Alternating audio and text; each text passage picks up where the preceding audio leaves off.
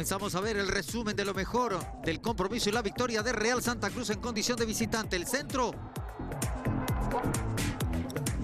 de Velasco, el cabezazo de Bilbao y por supuesto anulan el gol ante un empujón que habría realizado el delantero hacia el central Rivero.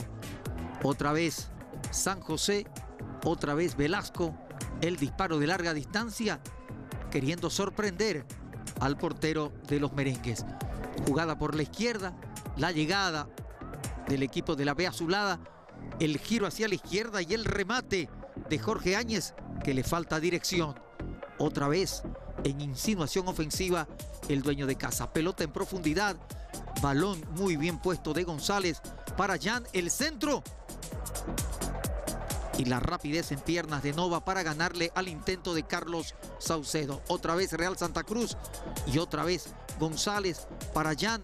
El intento del haitiano en el remate, pero le faltaba la dirección. Finalizaban los primeros 45 minutos y al vestuario con el 0 a 0.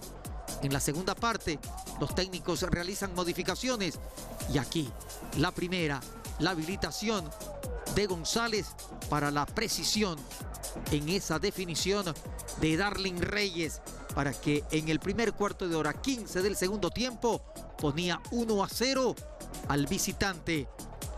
Pero San José, con ganas, entusiasmo, con claridad y con juego de conjunto, pretendía el gol del empate. Aquí otra vez Áñez en el intento ofensivo, pero la seguridad de Franco mantenía la victoria del visitante. Remate de larga distancia de Vallejos, el 38 que había ingresado en el segundo tiempo, queriendo sorprender la mano derecha de Franco y el travesaño le decían no. Pero mire usted, el centro, la pelota que toma una comba especial y Josué Prieto en ese su afán ofensivo, en esa proyección del buen lateral número 20 de San José, llegaba al gol del empate. Mire usted, centro complicidad de la pelota y se va al fondo. Era el 1 a 1 transitorio, pero nada estaba dicho, nada estaba cerrado.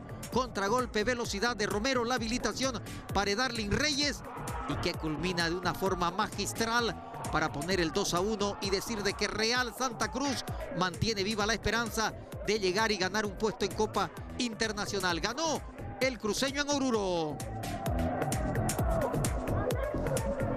Momento nos encontramos con la figura del partido, Edalín Reyes. Edalín, tres puntos que realmente valen oro, ¿no?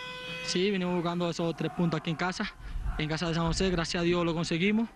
Eh, se debe al gran esfuerzo que hicieron los compañeros, individualmente como colectivamente, y gracias a Dios conseguimos resultados, que eso fue lo que vinimos a buscar aquí. A cuatro puntos de la Sudamericana. Sí, siempre eh, soñamos hasta el último partido, sabemos que tenemos cuatro partidos súper difíciles que afrontar ahora, entonces nos, prepararemos al 100% para poder sacar esos resultados y clasificar a una Copa Sudamericana. Felicidades y éxitos. ¿eh? Muchas gracias. Quiero, quiero mandar un saludo ahí a toda la gente de, de Real Santa Cruz, que estamos aquí para rato.